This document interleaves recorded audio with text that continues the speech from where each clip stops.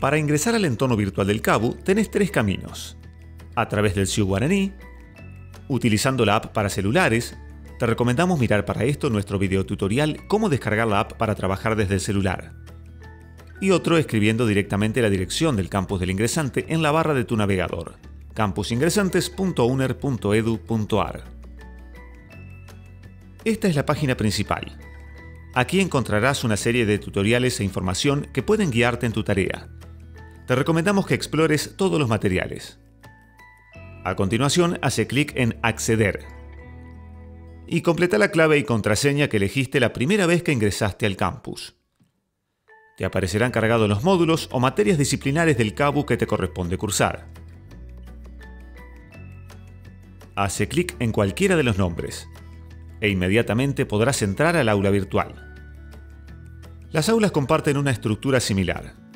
Una presentación que aclara cuestiones centrales como el sentido de la asignatura, los temas que aborda, la forma de trabajar y de evaluar en el espacio. Hace clic para deslizar y ver toda la información. Una serie de mosaicos que contienen el desarrollo de cada tema y las actividades que te ayudarán a comprenderlo. Haciendo clic en cada título se desplegará todo el contenido. Una evaluación final que tiene fines diagnósticos. En cada uno de los temas encontrarás una presentación específica del tema, la vas a ver al comienzo de cada unidad. Te propone una presentación breve del tema que encontrarás en el material de estudio y un adelanto de las actividades. Material de estudio. Es la información central que debes tener en cuenta para comprender el tema de la unidad correspondiente. Cada unidad tiene su material de estudio asociado. Espacio de actividades.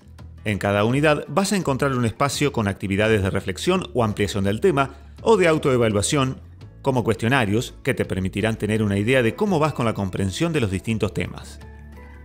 Evaluación final. Este espacio está previsto como cierre del cursado del módulo, integrando todos los temas abordados. Plantea un diagnóstico que te permitirá saber cómo te fue en la evaluación. Recordá que en ningún caso es eliminatoria.